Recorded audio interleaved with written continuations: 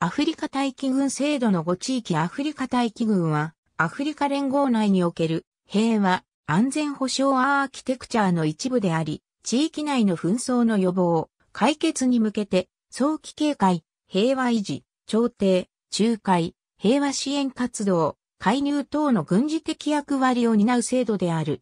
5つの準地域機構から構成され、各準地域機構は加盟国の軍隊、警察、文民から構成される地域待機軍を持つ。各地域待機軍は複数の地域待機旅団から構成される。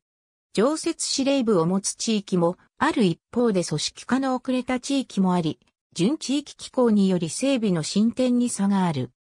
各準地域機構と au の平和安全保障委員会が協力しながら、紛争を未然に防止することが目的であり、初期には政治的調停によって対応するが、紛争発生時には必要に応じて地域待機旅団が投入され軍事介入が行われる。括弧内は旅団数。ブルンジは東部と中部の両方に、アンゴラは中部と南部の両方にそれぞれ加盟している。ありがとうございます。